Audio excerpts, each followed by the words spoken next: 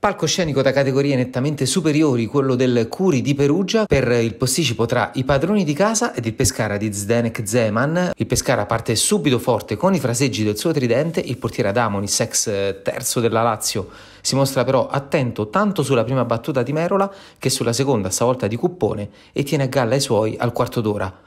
Ancora una conclusione di poco a lato, stavolta con Accornero per il Delfino che continua a spingere con i suoi giocatori offensivi. Spazio anche proprio per i padroni di casa con la sfera scaricata dalla corsia di sinistra verso il centro. La battuta a rete è però deficitaria e viene bloccata con grande facilità da Prizzari. Il Pescara continua a premere e lo fa con un paio di conclusioni da fuori aria, sia con Cuppone quanto con Aloi, quindi l'occasionissima del primo tempo è un calcio di punizione di Bartolomei, deviato con un bel volo da Plizzari sul palo, sulla ribattuta si fionda Acella, che viene però murato da Pierno, ancora una conclusione fuori dal bersaglio grosso per il Pescara, e nel primo tempo non succede più nulla, si passa dunque alla ripresa, siamo al terzo, c'è un'occasionissima con eh, Coppone che riesce a staccare in velocità i difensori del Perugia, si ritrova quindi davanti ad Adamonis, ma clamorosamente spara il piattone fuori rispetto ai pali degli Umbri. All'inizio azione c'era stato un intervento con il braccio dello stesso Coppone che avrebbe dunque dovuto portare al calcio di rigore per il Perugia.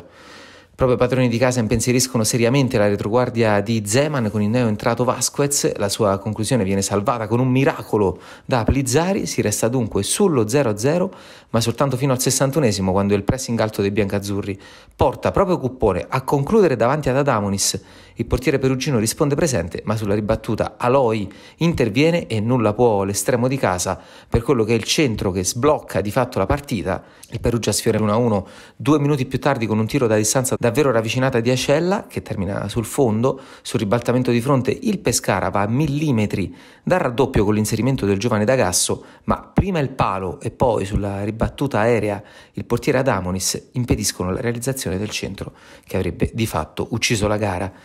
Il Perugia torna a farsi vedere con una doppia conclusione che però non impensierisce quanto servirebbe Plizzari. Il pressing degli Umbri si fa via via più forsennato e a 7 minuti dalla fine della gara Cancellieri con il mancino riesce a trovare una parabola a dir poco perfetta per superare da calcio di punizione l'estremo Plizzari.